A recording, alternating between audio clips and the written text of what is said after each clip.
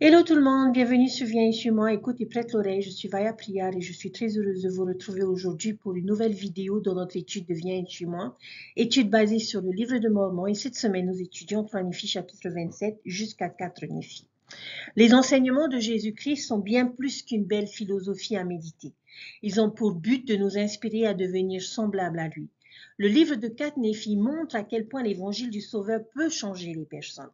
Le bref ministère de Jésus a mis un terme à des siècles de querelles entre les Néphites et les Lamanites. Deux nations qui étaient connues pour leurs différends et leur orgueil sont devenues un, enfants du Christ, et ont commencé à avoir tout en commun. L'amour de Dieu demeurait dans le cœur du peuple, et il ne pouvait y avoir de peuple plus heureux parmi tout le peuple qui avait été créé par la main de Dieu.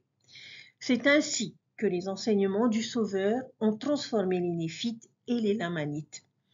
Comment vous, vous transformeront-ils cette semaine?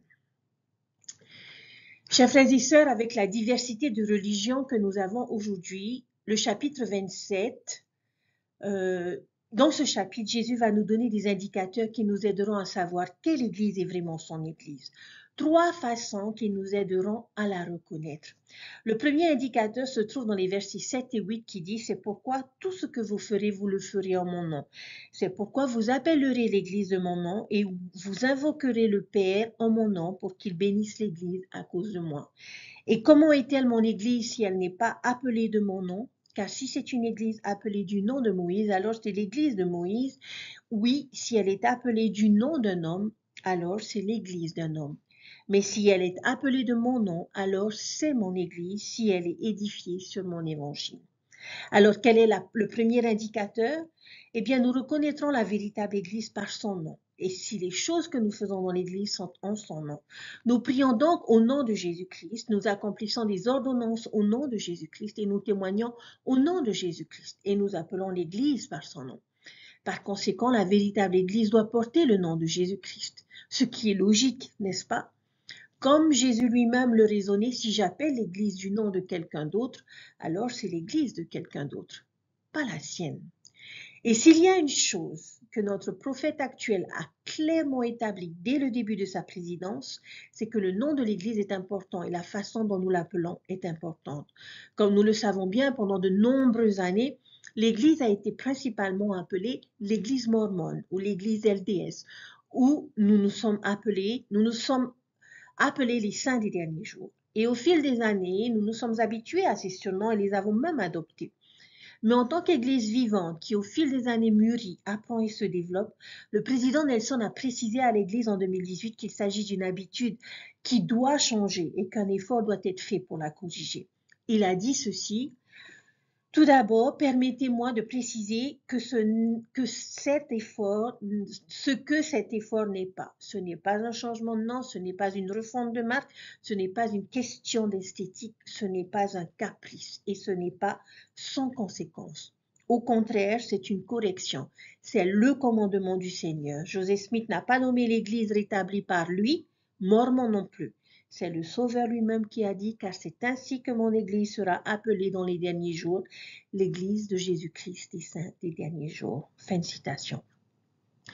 Le nom de l'Église n'est pas négociable. Lorsque le Sauveur déclare clairement quel devait être le nom de son Église, il a même fait précéder sa déclaration de Ainsi s'appellera mon Église. Il est donc sérieux. Et si nous permettons que des surnoms soient utilisés ou que nous les adoptions ou même que nous les parrainions nous-mêmes, il serait offensé. Aussi merveilleux que soit Mormon et aussi honorable que soit le fait d'être lié à lui et appelé par lui, ce n'est pas l'église de Mormon, mais pas plus que l'église de Joseph Smith ou l'église de Russell M. Nelson ou même l'église des saints des derniers jours. C'est l'église de Jésus-Christ. Et même si cela peut demander un peu d'adaptation, je dois l'admettre, j'ai un peu hésité au début, principalement à cause de la longueur du nom complet de l'Église. Mais j'ai depuis adopté l'idée que nous devons l'appeler ainsi. Je pense que j'ai commencé à comprendre. Et maintenant, je ne me considère plus comme une mormone, mais comme une membre de l'Église de Jésus-Christ. Et j'ai remarqué que cette déclaration a maintenant une sensation différente. Il y a quelque chose dans le fait de prononcer plus souvent le nom de Jésus-Christ qui rend notre appartenance plus profonde et plus significative. Et je suis pour ma part reconnaissante de m'associer plus souvent à son nom. Donc c'est notre premier indicateur. Son Église devrait porter son nom. Mais ce n'est pas tout et ce n'est pas suffisant. Il existe de nombreuses autres Églises qui portent en fait le nom du Christ et beaucoup dans le monde se considèrent comme des chrétiens. Jésus ajoute donc une autre qualification à la fin du verset 8, toujours dans le chapitre 27. La dernière phrase, ça inclut la dernière phrase du verset 8 et qui continue jusqu'au verset 11. Mais si elle est appelée de mon nom, alors c'est mon Église. C'est donc notre, premier indicateur, l'Église dont nous venons de parler. Et ensuite, il ajoute, si elle est édifiée sur mon évangile. En vérité, je vous dis que vous êtes édifiés sur mon évangile. C'est pourquoi tout ce que vous appellerez, vous l'appellerez en mon nom. C'est pourquoi si vous invoquez le Père pour l'Église, si c'est en mon nom, le Père vous entendra. Et si l'Église est édifiée sur mon évangile, alors le Père montrera ses œuvres en elle. Mais si elle n'est pas édifiée sur mon évangile, et édifiée sur les œuvres des hommes ou sur les œuvres du diable, en vérité, je vous dis qu'ils trouvent de la joie dans leurs œuvres pendant un certain temps. Et bientôt la fin arrive et ils sont abattus et jetés au feu d'où pas de retour. Voilà une qualification importante pour reconnaître son Église. Son Église doit non seulement porter son nom, mais doit aussi être bâtie sur son Évangile et non sur les œuvres des hommes, et certainement pas sur les œuvres du diable. Cela nous amène à la question évidente. Quel est son évangile? Et nous trouvons la réponse à cette question dans les versets 13 à 21. Le verset 13 commence par la déclaration C'est ici l'évangile que je vous ai donné. Et le verset 21 dit en vérité, en vérité, je vous le dis, ceci est mon évangile. Donc tout ce que nous trouvons entre ces deux déclarations est ce qu'il considère comme son évangile. De quoi parle-t-il dans ces versets? Son évangile est sa mission de faire la volonté de son Père. Donc l'obéissance à la volonté du Père est un aspect fondamental de l'évangile. Son évangile est fondé sur son sacrifice expiatoire, notre jugement final. Et nous allons ensuite voir une référence à chacun des premiers principes et ordonnances de l'évangile. Nous avons la foi, le repentir, le baptême, la réception du don du Saint-Esprit et la persévérance jusqu'à la fin. C'est sur cela que l'Église doit être édifiée. Ce sont les fondements de son évangile. Son Église doit être édifiée sur ces vérités. Notre foi correspond-elle à ces descriptions? Je vous laisse en juger, mais j'espère que c'est le cas. Notre troisième indicateur se trouve dans les versets 21 et 27. Et à mon avis, c'est celui qui est le plus important parce que, et je pense qu'il a gardé le meilleur pour la fin. Cette dernière idée se trouve tout au long du chapitre et est même évoquée dans les premiers indicateurs que nous avons déjà examinés. Comment est-ce que les personnes sauront-ils réellement quelle Église est la véritable Église.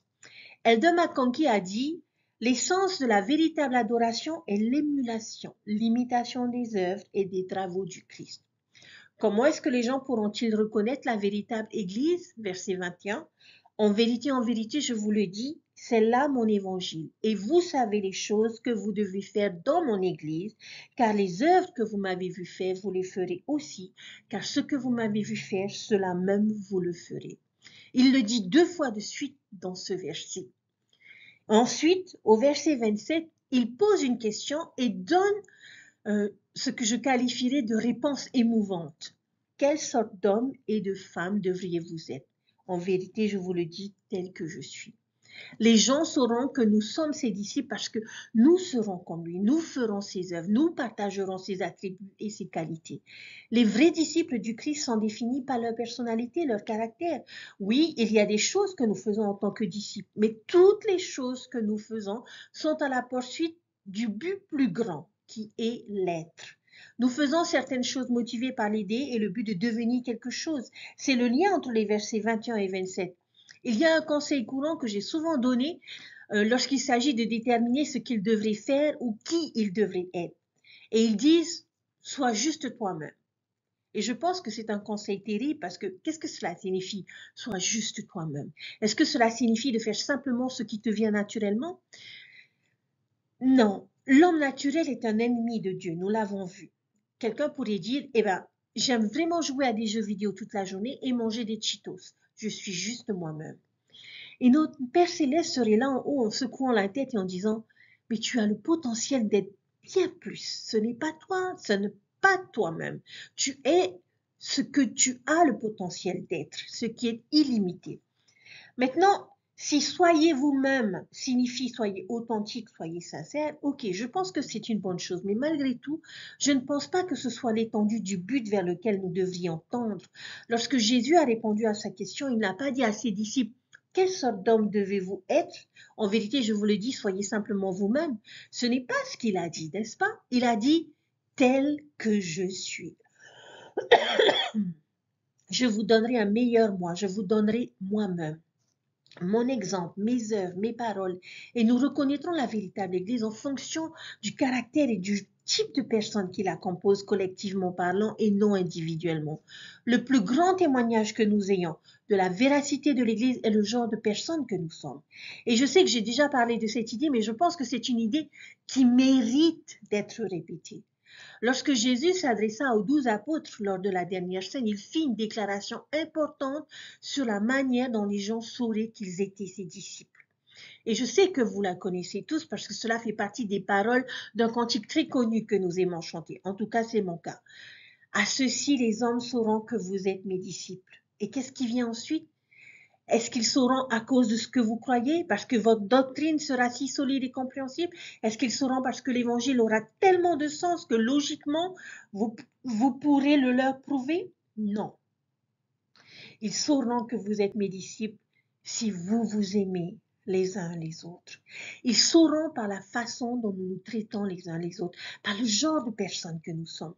Nous pouvons voir cette idée reflétée dans les deux premiers indicateurs également, et en fait dans tout ce chapitre.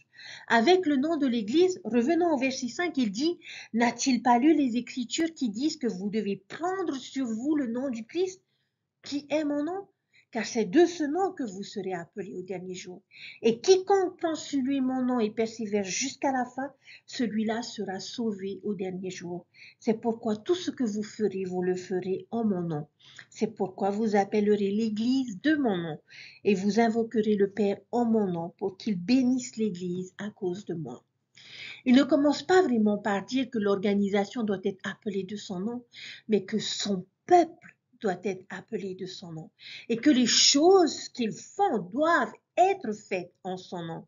Lorsque nous sommes baptisés, chaque semaine lorsque nous prenons la Sainte Seine, nous nous engageons à prendre sur nous le nom du Christ. Cela met davantage l'accent sur nos actions et notre caractère que sur le nom que nous sommes en tant qu'organisation. En fait, on pourrait soutenir que l'Église est vraiment son peuple, pas juste une idée abstraite ou un, groupe de personnes ou une institution. Nous sommes l'Église de Jésus-Christ pas des bâtiments, pas des panneaux, pas l'aspect structurel de l'Église. Les personnes sont l'Église et nous devons donc porter le nom de Jésus-Christ et faire des choses en son nom. C'est pourquoi cette distinction est importante. Nous ne sommes pas des Mormons essayant d'être comme les Mormons, nous sommes des chrétiens essayant d'être comme le Christ. Et c'est peut-être pour cela que nous sommes un peu irrités lorsque le reste du monde chrétien veut nous exclure de cette désignation. Qu'en est-il de l'édification sur son évangile verset 9. En vérité, je vous ai dit que vous êtes édifiés sur mon évangile, c'est pourquoi tout ce que vous appellerez, vous l'appellerez de mon nom. C'est pourquoi si vous invoquez le Père pour l'Église, si c'est en mon nom, le Père vous entendra. Et si l'Église est édifiée sur mon évangile, alors le Père montrera ses œuvres en elle. Ainsi, une fois de plus, l'accent est mis sur nous en tant que peuple plutôt que sur l'Église en tant qu'organisation. Le Père montre ses œuvres en elle à travers ses membres. Car si nous faisons les œuvres du Christ, nous faisons les œuvres du Père. Car c'est ce que Christ a fait. Christ était la leçon vivante de ce à quoi ressemble son Père. Et il le dit au verset 13. De cette façon, les œuvres du Père sont montrées dans son Église à travers les actions de ses membres. Oui, nous savons que l'Église est vraie en raison de sa vraie doctrine, de sa vraie autorité, de ses vraies ordonnances et de sa vraie organisation. Mais plus important encore, nous savons qu'elle est vraie en raison de ses vrais disciples. En tant qu'individus, nous devons être édifiés sur son évangile, au fil des siècles, depuis que le Christ a visité ce monde pour la première fois dans la chair, malheureusement, le christianisme semble avoir mis l'accent sur la croyance plutôt que sur le caractère. Il semble que ce que vous croyez au sujet du Christ était bien plus important que le genre de personne que vous étiez. Et des choses comme des croisades, des inquisitions, les schistes, des indulgences, des exécutions ont toutes été faites à cause de personnes qui ne croyaient pas aux bonnes choses. Ne vous méprenez pas je pense que ce que nous croyons compte, a son importance. Une bonne doctrine conduit à un bon comportement. Mais dans le grand schéma des choses, je pense que notre Père céleste est bien plus préoccupé par le genre de personne que nous sommes que parce que nous prétendons savoir. Quel genre d'hommes et de femmes devrions-nous être Tels que lui? Chaque semaine dans la Sainte Seine, nous promettons de prendre sur nous son nom, de le représenter. Et pour combien de temps? Jusqu'à la fin. Et lorsque nous parlons de persévérer jusqu'à la fin, à quelle fin faisons-nous référence? À la fin de notre vie? À la fin de notre voyage vers les royaumes de gloire? Je pense que la fin à laquelle il fait référence est la fin de notre développement spirituel et personnel. Cette fin consiste à devenir comme le Christ. Je dois donc persévérer jusqu'à cette fin, devenir un être comme lui, persévérer jusqu'à la fin de son caractère, limité et limité parfaitement. Par conséquent, comment saurons-nous quelle Église est vraie? Ce sera l'Église qui comptera le plus de monde semblable au Christ, où les gens développeront ces qualités. Ce sera l'Église qui sera probablement la véritable Église de Jésus-Christ. Le professeur Arthur Henry King a magnifiquement enseigné cette idée lorsqu'il a dit Nous symbolisons le bien dans un individu réel, Jésus-Christ, le Fils de Dieu. Il est un homme, pas un principe, un homme qui inclut tous les principes. Et suivre un homme est très différent de suivre un principe. Nous n'avons pas à résoudre les complexités philosophiques de l'éthique. Cela n'a rien à voir avec cela. Nous devons étudier les évangiles, voir ce que le Christ a fait et enseigner de nous identifier à ce qu'il a fait. C'est parce que nous saisissons l'esprit du maître, l'amour du maître, et parce que nous sommes imprégnés de l'évangile que nous savons ce que nous devons faire. Fin de citation. L'évangile que nous avons stocké en nous nous permet à tout moment de ressentir ce que nous devons faire dans une certaine situation. Chers frères et sœurs, voyez-vous comment cela fonctionne? Nous imitons et nous devenons comme le Christ. Je, chacun de nous pouvons reconnaître la véritable Église du Christ par son nom, appelé d'après Jésus-Christ, ses enseignements fondés sur l'Évangile de Jésus-Christ et le caractère de ceux qui en sont membres, ceux qui ressemblent plus au caractère et à la personnalité de Jésus-Christ. Lequel de ces trois indicateurs vous a le plus aidé à reconnaître la véritable Église du Christ? Qui connaissez-vous qui, illustre un aspect du caractère du Christ et comment? Chers frères et sœurs, j'aimerais vous inviter à réfléchir à une caractéristique du Christ que vous souhaiteriez mieux imiter. Qu'est-ce que vous pourriez faire cette semaine pour l'imiter? En conclusion, et pour vraiment ancrer l'importance d'imiter le caractère du Christ au plus profond du cœur, j'aimerais vous inviter à un exercice mental. Essayez d'imaginer le jugement final et disons qu'une personne d'une autre religion entre pour être jugée et le Christ lui dit, tu sais, j'ai peur que tu aies mal compris ma doctrine, parce que tu n'as pas compris la vraie nature de la divinité, ni l'importance des prophètes vivants. Tu as complètement mal interprété la nature du ciel et de l'enfer, et la façon dont ton baptême a été effectué était incorrecte. Mais tu sais quoi? Nous pouvons régler cela très facilement en quelques minutes. Voici la vérité. C'est la vraie doctrine. Cependant, tu sais quelque chose? Tu étais l'une des personnes les plus gentilles, les plus charitables, les plus indulgentes, les plus dévouées et les plus honnêtes que je connaisse. Tu as fait de gros efforts pour être comme moi. Tu es le genre de personne qui appartient à mon royaume. Bien joué, bon et fidèle serviteur, entre dans mon repos. D'un autre côté, on pourrait aussi voir un scénario comme celui-ci se dérouler, où un membre de l'Église de Jésus-Christ des Saints des derniers jours vient pour être jugé et le Christ lui dit, tu sais quoi?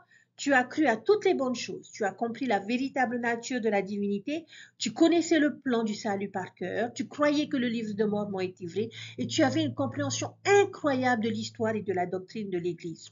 Bon travail. Cependant, tu étais l'une des personnes les plus orgueilleuses, les plus critiques, les plus égoïstes et les plus colériques que je connaisse. Tu as très peu essayé d'être comme moi. Je ne peux pas arranger cela, je ne peux pas te changer je ne suis pas sûre que tu serais très heureux ou à l'aise dans mon royaume.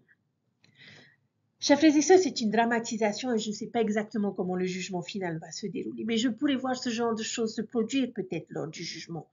Ne serait-il pas bien mieux non seulement de savoir que l'Église est vraie, mais d'être fidèle à l'Église, ou plutôt d'être fidèle au Christ et à son caractère Je crois personnellement qu'il s'agit plus de devenir que de croire.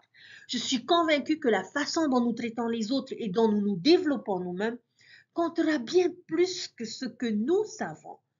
À cela, les hommes sauront que vous êtes mes disciples si vous vous aimez les uns les autres.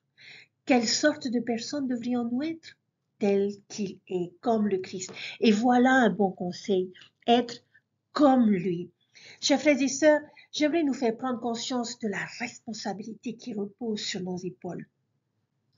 Nous, nous, sommes invités à participer au rassemblement d'Israël. Notre prophète nous a encore invités à le faire, nous a demandé de reconsacrer euh, notre, notre statut de disciple dévoué à cette œuvre. Et nous amenons les personnes au Christ, nous les amenons à contracter des alliances dans l'Église de Jésus-Christ. Comment sauront-ils que c'est l'Église du Christ? Parce qu'elle porte son nom, parce qu'elle est édifiée sur son évangile.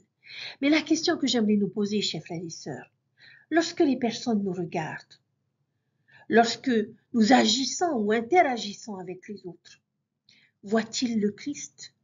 Voient-ils en nous qui sommes membres de l'Église de Jésus-Christ et saint des derniers jours que cette Église est vraiment celle du Christ parce que nous vivons cet évangile enseigné dans cette Église. Chers frères et sœurs, bien souvent, des personnes hésitent, des personnes s'en vont, des personnes ne veulent plus se rapprocher du Christ, venir au Christ à cause de nos actes, à cause de nos paroles, à cause de notre orgueil, à cause de nos jugements et de nos critiques. Que pensez-vous que le Sauveur ressentirait lorsqu'il verrait un enfant arriver, faire l'effort de changer sa vie et de revenir à lui et de se retrouver face à des membres qui ne font preuve d'aucun amour, qui ne font preuve d'aucune tolérance et qui passent leur temps à critiquer et à juger. Que vont faire ces personnes, chers frères et sœurs? Parce que leur foi n'est pas suffisamment forte, elles voudront tout simplement s'en aller. Alors je nous invite, chers frères et sœurs, dans cette invitation de notre prophète à redevenir et reconsacrer notre vie en tant que disciples de Jésus-Christ, à être véritablement des disciples du Christ. Il y a un chant que j'aimais beaucoup apprendre à mes enfants, et c'était un chant de la primaire qui disait s'il était là à mes côtés, voudrais-je faire ce que je fais? Chers frères et sœurs, posons-nous la question. Il y a un autre chant de la primaire que nous connaissons tous qui dit Jésus-Christ est mon modèle. En faisons-nous réellement notre modèle? Suivons-nous ses pas?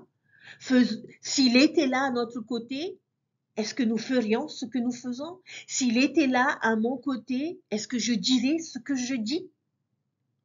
Si ce n'est pas le cas, chers frères et sœurs, changeons, s'il vous plaît, changeons. Notre prophète nous a demandé de nous préparer, de préparer le monde à la venue du Christ.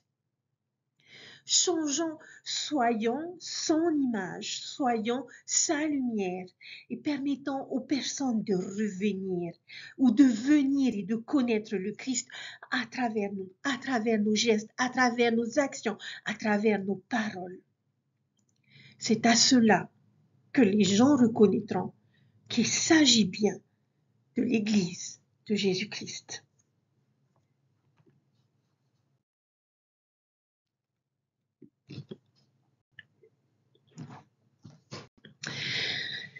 Je ne passe pas, je ne passe pas généralement beaucoup de temps sur le chapitre 28, mais j'aimerais donner une brève idée de ce chapitre. Elle se concentre sur l'idée des trois néphites ou des trois disciples. Ils sont jamais mentionnés comme les trois néphites dans le livre de Mormon, donc peut-être qu'ils n'étaient même pas néphites.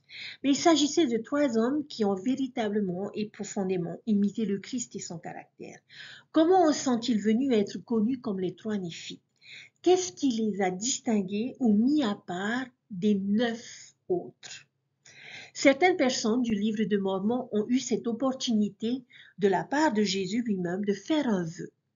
Après le chapitre 27 où Jésus leur dit ce qu'il veut d'eux, il renverse la situation et dit, bon maintenant, que voulez-vous que je fasse? Que veux-tu de moi En d'autres termes, fais un vœu. Ces personnes n'étaient autres que les douze apôtres néphites. Et que souhaitaient-ils? Nous pouvons les diviser en deux groupes. Neuf souhaitaient une chose, tandis que trois souhaitaient une autre. Quels étaient ces deux souhaits? Lorsqu'on regarde le chapitre 28 et versets 2 à 7, le premier souhait formulé par neuf d'entre eux était qu'ils puissent rapidement venir au royaume du Christ après avoir œuvré sur terre. C'était un grand désir et Jésus les félicita pour cela. Il les bénit en leur accordant ce souhait et il leur dit qu'ils vivront jusqu'à 72 ans et qu'ils le rejoindraient alors immédiatement dans son royaume. Donc, en gros, ils sauteraient le monde spirituel et retourneraient directement dans la présence du Christ. Ils demeureraient là où ils demeurent. Mais qu'en est-il des trois autres? Je pense qu'il est intéressant de noter que le verset 5 nous dit qu'ils étaient attristés dans leur cœur de parler de leurs désirs. Et je me suis souvent demandé pourquoi. Peut-être se demandait-il si cela blesserait les sentiments du Sauveur en ne voulant pas d'abord et avant tout retourner rapidement à lui comme les autres. Était-ce parce qu'il venait de voir Jésus apprécier et approuver le désir des neuf et savait qu'il ressentait quelque chose de différent? Je ne sais pas mais c'est une question intéressante. Une chose que je sais, c'est que Jésus est également satisfait de leurs désirs. Ils seront également grandement félicités pour ce qu'ils veulent. Et cela m'enseigne un principe fascinant, que nous pouvons avoir des désirs juste différents en tant que disciples du Christ. Tout le monde n'est pas obligé de ressentir la même chose à propos de chaque aspect de l'Évangile. Nous ne sommes pas tous censés être des copies exactes ou des copies photocopiées les uns des autres. Il y a beaucoup de place pour l'unicité parmi les disciples du Christ. Nous avons des forces différentes, des chemins différents à prendre dans la vie, des désirs différents, mais tous sont bons et acceptables pour Dieu. Quel était leur désir? On entend parfois des personnes répondre que c'était de vivre éternellement et de ne pas goûter à la mort. Mais ce n'est pas ça vivre éternellement était plutôt un effet secondaire de leur souhait. Leur véritable désir était quelque chose de bien plus grand et le verset 9 nous le révèle. Ils désiraient amener les âmes des hommes au Christ pendant que le monde subsisterait. Le verset 6 nous dit qu'ils avaient le même désir que Jean le bien-aimé.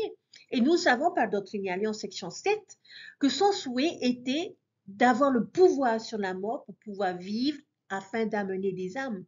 Il ne voulait pas vivre éternellement par curiosité pour l'avenir ou pour une sorte de fantaisie égoïste de type fontaine de jouvence. Non, il voulait vivre éternellement afin de pouvoir continuer à faire ce qu'ils aimaient le plus, proclamer l'évangile, être des missionnaires, amener des âmes au Christ. Et c'est là, je crois, la véritable leçon des trois disciples de Jean le bien-aimé. Je sais que c'est plutôt amusant de penser qu'il y ait ces quatre êtres immortels qui marchent sur la terre et à quoi pourrait ressembler leur vie. Le reste du chapitre 28 nous apprend des faits intéressants à leur sujet et je vous invite à relever cette liste dans ce chapitre. Et je, ne vais pas m'attarder. Je ne voudrais pas non plus que cela devienne le centre de ma leçon et je ne voudrais pas non plus en faire une histoire spéculative. Mais au fil des ans, on a entendu beaucoup d'histoires et de spéculations sur les trois néphites ou disciples. Et je connais, euh, je suis persuadée qu'il y a des gens qui pensent les avoir déjà rencontrés. Mais l'histoire tourne autour d'un visiteur mystérieux qui se présente au bon moment pour aider un certain membre de l'Église. Ces histoires peuvent être vraies ou non, mais nous ne devrions pas avoir l'impression que leur mission principale est de parcourir la terre pour aider les membres de l'Église à sortir des ennuis. Ce n'est pas vraiment pour cela qu'ils voulaient rester sur terre. C'était pour amener des âmes au Christ. Alors que font-ils en ce moment? Eh bien, ils sont quelque part en train de faire du travail missionnaire. Ils préparent les personnes à la vérité, font avancer le rassemblement d'Israël, ouvrent les cœurs et les domaines à l'enseignement de l'Évangile rétabli.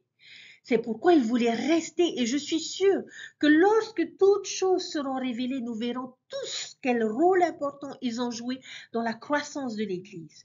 La véritable leçon que nous enseignent les trois néphites est la joie de l'œuvre missionnaire. N'est-ce pas merveilleux?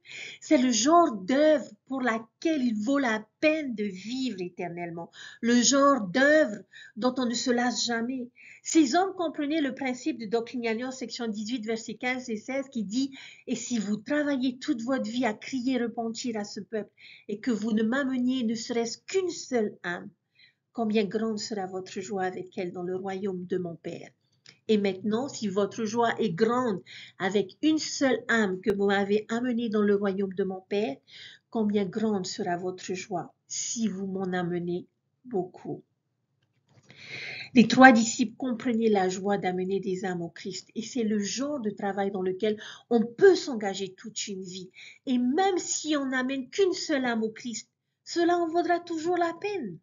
Ils étaient prêts à vivre plusieurs vies en faisant ce travail. Ils connaissaient cette joie et la joie est l'idée la plus associée à l'œuvre missionnaire dans les Écritures. Dans 3 Néphi 28, 10, Jésus dit à ses trois disciples, c'est pour cela que vous aurez une plénitude de joie et vous vous assurez dans le royaume de mon Père. Oui, votre joie sera parfaite comme le Père m'a donné une plénitude de joie et vous serez comme moi et je suis comme le Père et le Père et moi sommes un. Chers frères et sœurs, ce principe simple que le désir des trois disciples néphites est illustré dans ce chapitre nous enseigne et nous pouvons apprendre d'eux en modelant nos désirs sur les leurs, même si nous ne vivrons pas éternellement comme eux, mais comprendre que le travail missionnaire égale joie. J'aimerais témoigner que cette joie est réelle. J'ai ressenti cette joie en travaillant avec des non-membres et des membres inactifs dans mes différents appels au fil des années. J'ai ressenti cette joie lorsque j'enseigne chacun d'entre vous et que j'espère vous inculquer l'amour des Écritures et du Sauveur. J'ai ressenti cette joie à travers les commentaires qui arrivent, les messages que je reçois dans lesquels chacun de vous exprime leur appréciation pour ce qui est enseigné et comment cela les rapproche de notre Sauveur Jésus-Christ. J'encourage chacun d'entre nous à suivre l'exemple de citoyenneté. Nous ne pourrons peut-être pas vivre éternellement en amenant des âmes au Christ, mais nous pouvons chercher à amener des âmes au Christ pendant les années qui nous sont allouées. S'ils peuvent le faire pendant des siècles, nous pouvons certainement le faire pendant notre court séjour dans la mortalité.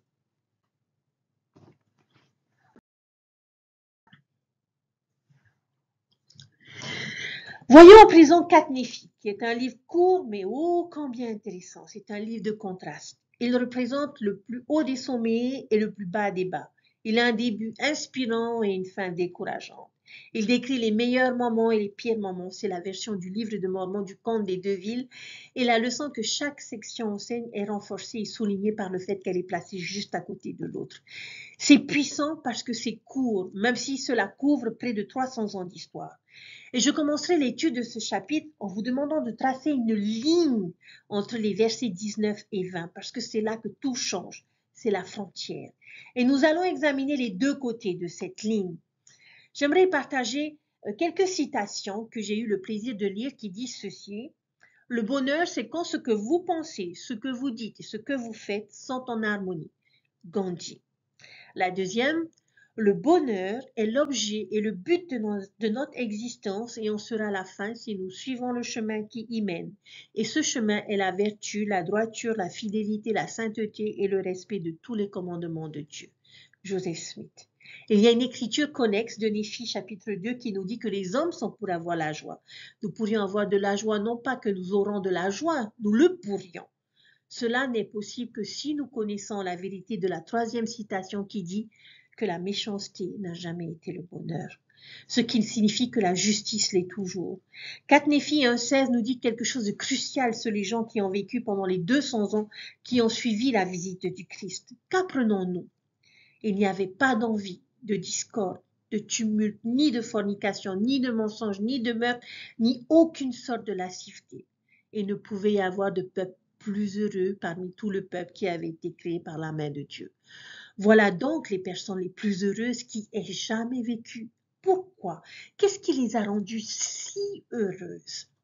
Les personnes les plus heureuses de toutes. Quelle est la recette du bonheur? Dans le verset 1, on nous parle du culte dans l'Église du Christ peut apporter le bonheur, le repentir, le baptême, la réception du Saint-Esprit. Le verset 2 nous dit d'être converti au Seigneur. Le verset 5 de rechercher les bénédictions de la prêtrise. Le verset 7 la prospérité. La prospérité comporte des pièges et nous le verrons plus tard dans 4 Néphi. Verset 8 et 9, être industrieux, travailler dur. Verset 11, les mariages dans l'alliance. Verset 12, garder les commandements, jeûner et prier. Verset 16, abandonner les comportements pécheurs. Toutes ces choses que je vous invite à relire ont contribué à leur bonheur et feront de même pour nous également. Mais S'il y a une idée principale ou un thème récurrent dans ces versets qui, selon moi, a le plus contribué au bonheur de ces personnes, ce serait la chose qui est répétée encore et encore dans ces versets. C'est comme si Mormon nous signalait ce qu'il considère comme le plus grand secret des communautés, des mariages, des familles et des personnes heureuses. Il revient sans cesse sur cette idée. Une fois, euh, cette idée est particulière parce que, regardez, verset 2, pas de querelle ni de dispute. Ils se traitaient les uns les autres avec justice. Verset 3. Ils avaient tout en commun entre eux, ni riches, ni pauvres, ni esclaves, ni libres. Ils étaient tous libres et participants du don céleste. Verset 4, il y avait la paix dans le pays. Verset 12, ils se rassemblaient souvent pour prier et pour entendre la parole du Seigneur. Verset 13, pas de querelle. Verset 15, pas de querelle dans le pays à cause de l'amour de Dieu qui demeurait dans le cœur du peuple. Verset 17, pas de division ni de hit parmi eux, dont l'un les enfants du Christ héritiers du royaume de Dieu. Verset 18, il n'y avait pas de querelle dans le pays. Vous voyez l'accent mis ici? C'est là que réside les plus grands secrets du bonheur. L'unité, la bonté fraternelle et l'égalité ont, rendu ce bonheur possible. Il n'y avait pas de division culturelle, raciale, classe sociale, étiquette, hostilité, faction, tribu, pas de division religieuse. Ils étaient un. Et la seule classification qui comptait était enfant du Christ, héritier du royaume de Dieu. Et ils célébraient ce point commun. Il me semble logique que Mormon insiste là-dessus. Il écrit cela au milieu d'une société très conflictuelle et profondément divisée que nous voyons dans les derniers chapitres du livre de Mormon. Il devait avoir un profond désir dans son cœur et une envie ardente de ce genre de monde parce qu'il semble vraiment insister sur cet aspect de ces années. Regardez, supplie-t-il, regardez à quoi peut ressembler la vie quand on s'entend bien. À présent, le changement, le plus malheureux de tous les peuples. Ce sourire chaleureux et nostalgique commence à disparaître du visage de Mormon alors qu'il continue de résumer les prémices de son époque. Vient maintenant le changement, verset 20. Nous venons d'apprendre comment être heureux, mais disons que je ne suis pas intéressé par le bonheur. Et si je veux être malheureux, comment est-ce que je peux y parvenir Le reste du livre de Katnefi contient la réponse à cette question. Verset 20. Et il observa 84 ans et il y eut encore la paix dans le pays, sauf qu'il y avait une petite partie du peuple qui s'était révoltée contre l'Église et avait pris sur elle le nom de l'Amanite. C'est pourquoi il commença à y avoir de nouveau des Lamanites dans le pays. La première étape est la division. Il commence à y avoir à nouveau des étiquettes. Il y a une séparation culturelle. Même si elle commence petite, il y a un groupe qui se révolte et qui se détache du corps principal et se qualifie de séparé. Passons au verset 23. Et maintenant, moi, Mormon, je voudrais que vous sachiez que le peuple s'était multiplié de sorte qu'il était répandu sur toute la surface du pays et qu'il était devenu extrêmement riche à cause de sa prospérité dans le Christ. Et alors, cette 200, 201e année, certains parmi eux commencèrent à être enflés dans l'orgueil, portant des vêtements somptueux et toutes sortes de perles fines et les choses raffinées du monde. Et à partir de ce moment-là, ils n'eurent plus leurs biens et leur subsistance en commun. Ils commencèrent à être divisés en classes, ils commencèrent à s'édifier des églises pour obtenir du gain et commencèrent à nier la vraie église du Christ. Ici, nous avons une autre division et davantage d'étiquettes. Maintenant, nous avons les riches, les pauvres. La séparation économique s'installe et l'orgueil qui l'accompagne. Inévitablement. Les, classes sociales apparaissent. Et ensuite, l'étape suivante commence également dans ce verset. Ils commencèrent à se construire des églises pour obtenir du gain. Ils commencèrent à renier la véritable église du Christ. Verset 27, et il arriva que 210 ans plus tard, il y avait beaucoup d'églises dans le pays. Oui, il y avait beaucoup d'églises qui prétendaient connaître le Christ et pourtant elles niaient la plupart des parties de son évangile, de sorte qu'elles recevaient toutes sortes de méchanceté et administraient ce qui était sacré pour celui à qui cela avait été interdit à cause de leur indignité. À présent, nous avons des divisions religieuses dans la société, des étiquettes religieuses. De nombreuses églises différentes rivalisent et prétendent être la source de la vérité. Et une fois que nous avons ces divisions, regardez à quoi cela ouvre la voie. Verset 29. Il y avait une autre église qui niait le Christ et persécutait la véritable église du Christ à cause de leur humilité et de leur croyance en Christ. Et il la méprisait à cause des nombreux miracles qui s'opéraient parmi eux. Plus loin, verset 34, néanmoins, le peuple endurcit son cœur car il se laissait entraîner par beaucoup de prêtres et de faux prophètes à bâtir beaucoup d'églises et à commettre toutes sortes d'iniquités. Et ils frappèrent ce peuple de Jésus. Mais le peuple de Jésus ne frappa plus. Et ainsi il dépérissait dans l'incrédulité et la méchanceté d'année en année jusqu'à ce que 230 ans se soient écoulés. Une fois que vous avez ces divisions et cet orgueil religieux, cela conduit à l'endurcissement des cœurs et à la persécution. Non seulement je suis séparé de vous, mais je suis aussi meilleur que vous. Et je vais vous montrer physiquement combien je suis meilleur que vous, combien j'ai plus de pouvoir que vous, combien je suis plus important que vous. J'exercerai physiquement ma domination et ma volonté sur vous. C'est pourquoi, verset 35, il arriva cette année-là, oui, la 231e année, qu'il y eut une grande division parmi le peuple. Et c'est là que nous retrouvons à nouveau les Néphites, les Lamanites, les riches, les pauvres, l'Église du Christ, l'Église du gain, du pouvoir, du déni, de l'égoïsme. Puis l'une des étapes les plus tristes décrites dans les versets 38 et 39, ils enseignent à leurs enfants à ne pas croire et à haïr. Par conséquent, la haine et l'incrédulité sont, l'incrédulité sont préservées et transmises à la génération suivante. Et cela va finalement nous conduire au dernier livre tragique du livre de Mormon. La fin de l'histoire néphite n'est pas heureuse. Elle se termine dans la méchanceté, la guerre et la destruction. Alors voyez-vous l'accent mis par Mormon ici? Quels semble être l'un des plus grands outils de Satan pour détruire les sociétés, les mariages et les familles et assurer la misère et la destruction parmi les enfants des hommes? La discorde, la disunion, la division, l'inégalité, les préjugés, l'orgueil. Son but est de nous séparer. Et lorsqu'il réussit à créer un fossé entre nous, il gagne, que ce soit culturel, socio-économique, politique ou religieux, il gagne. Maintenant, je vous le demande, chers frères et sœurs. Le livre de Mormon est-il pertinent pour nous à notre époque à cet égard? Voyez-vous des parallèles? La désunion et les disputes sont-elles un problème dans les derniers jours? Quel exemple pourriez-vous donner? Je sais que notre société a toujours été divisée, mais il me semble que les choses ont empiré à cet égard. Les conflits et la désunion ont été mis en évidence, en particulier dans, des pays lointains. Les tensions culturelles et raciales sont encore plus fortes qu'elles ne l'ont été depuis des décennies. Les conflits politiques sont profonds et amers. Les débats polis et les efforts bipartites ont laissé la place à l'incivilité ou au refus de faire des compromis ou de chercher un terrain d'entente. La division entre riches et pauvres devient de plus en plus prononcée. Et je crains que dans tous ces domaines, les médias modernes ne semblent que jeter de l'huile sur le feu. Nous nous tournons de plus en plus vers des sources d'informations qui alimentent nos fractures et encouragent nos préjugés. Il existe de nombreuses preuves que nous sommes une société et un monde profondément divisés. Je veux dire, c'est comme si nous inventions de plus en plus de façons de nous étiqueter et de nous diviser. Même des choses aussi stupides que les équipes sportives que nous soutenons, l'école que nous fréquentons ou le genre de musique que nous aimons peuvent inspirer une haine profonde et même de la violence entre les gens. Et Satan reste assis et rit de tout cela.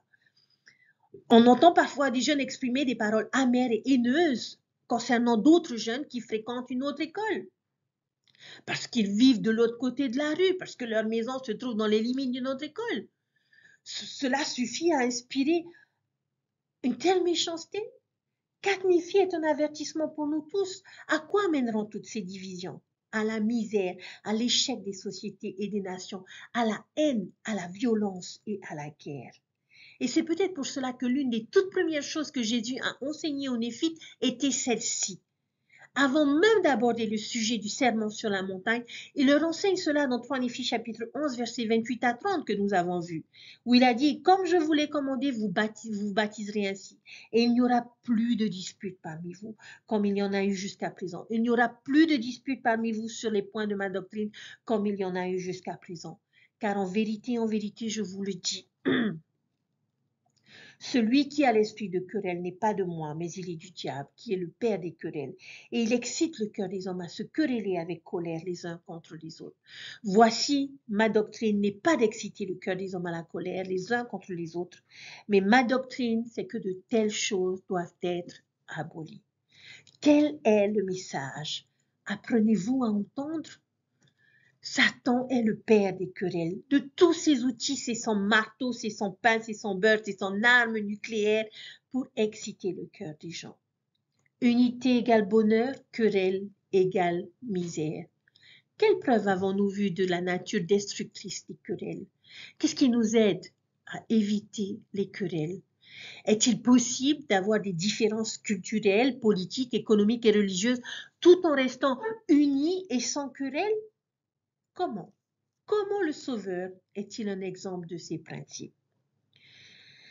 Chers frères et sœurs, la fin tragique de Katnéfi nous envoie un avertissement solennel de la part de cette voix qui sort de la poussière. Si vous voulez être heureux, ne cédez pas à l'esprit de querelle. Apprenons à nous entendre. Travaillons dur pour rester unis. C'est vrai dans les mariages, c'est vrai dans les familles, c'est vrai dans les paroisses, c'est vrai dans les communautés et les nations et dans le monde lui-même.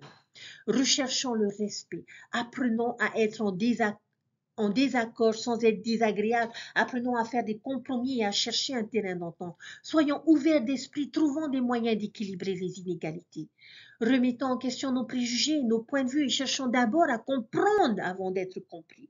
Réunissons-nous souvent et soyons disposés à résoudre les problèmes et à chercher des solutions. Si nous voulons construire Sion, nous devons nous débarrasser de toutes les étiquettes, divisions, querelles, disputes, séparations orgueilleuses et commencer à célébrer notre lien commun, celui d'être enfant de Dieu. Souvenons-nous de la destruction de la ville, description, pardon, de la ville de Sion dans Moïse 7, 18. Et l'Éternel appela son peuple Sion parce qu'ils étaient d'un seul cœur et d'un seul esprit et qu'ils vivaient dans la justice. Il n'y avait pas de pauvres parmi eux.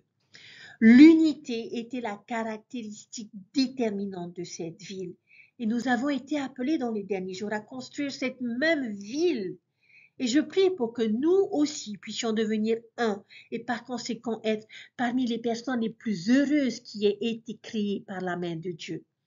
Chers frères et sœurs, je ne peux pas m'empêcher de penser à ce message de président Russell M. Nelson qui nous a invités à être des artisans de paix. On comprend encore plus pourquoi le thème de ce message. Parce que nous préparons la venue du Sauveur, parce que nous devons bâtir Sion. Et nous pouvons le faire si nous devenons des artisans de paix. Oh, que j'aime Président Nelson.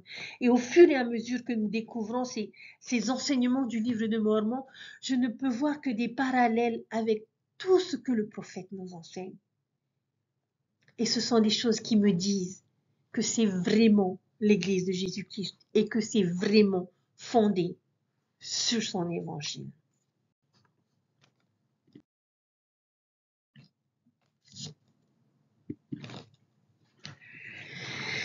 Dans notre dispensation, bien que nous vivons une époque particulière, le monde n'a pas eu la bénédiction de connaître la justice et l'unité décrites dans quatre Néphi. Nous vivons à une époque où règnent des divisions particulièrement fortes. Néanmoins, les millions de personnes qui ont accepté l'évangile de Jésus-Christ se sont engagées à parvenir à la justice et à l'unité. Nous sommes tous conscients que nous pouvons faire mieux et c'est notre défi à l'heure actuelle. Nous pouvons contribuer à l'élévation et au bien de la société. Engageons-nous, membres de l'Église du Seigneur, à vivre dans la justice et être unis comme jamais auparavant. Le président Nelson nous a appelés à faire preuve de plus de civilité, d'harmonie entre races et ethnies et de respect mutuel. Cela signifie nous aimer les uns les autres, aimer Dieu et considérer tous les humains comme nos frères et sœurs et être réellement un peuple de sien. L'appel vibrant lancé aux membres de l'Église de Jésus-Christ des saints des derniers jours est de s'efforcer d'être un peuple de Sion, d'un seul cœur, d'un seul esprit, et de demeurer dans la justice. Je prie pour que nous soyons justes et unis, entièrement focalisés sur le service et l'adoration de notre Sauveur Jésus-Christ. Il vit et il nous aime c'est son œuvre, c'est son Église. Soyons à la hauteur de la responsabilité et de l'engagement que nous avons pris de prendre sur nous le nom du Christ. Faisons de lui notre modèle, suivons ses pas. S'il était là à mes côtés, comment parlerais-je Comment agirais-je Que ferais-je Je suis persuadée que ces questions pourront nous aider. Soyons des artisans de paix. Laissons Dieu prévaloir dans notre vie. Pensons de manière céleste et préparons le monde en devenant des disciples dévoués et à trouver la joie au service de Dieu dans cette grande œuvre qui est le rassemblement d'Israël. Jésus-Christ nous aime. Il a donné sa vie, chers frères et sœurs, pour que chacun d'entre nous puissions avoir la bénédiction de pouvoir un jour retourner vivre en la présence de Dieu. Certaines personnes n'ont pas contracté les alliances et ordonnances nécessaires pour y parvenir. Nous, si. Puissions-nous persévérer dans ces ordonnances et ces alliances, mais inviter les autres à venir au Christ et à contracter ces mêmes alliances et ordonnances.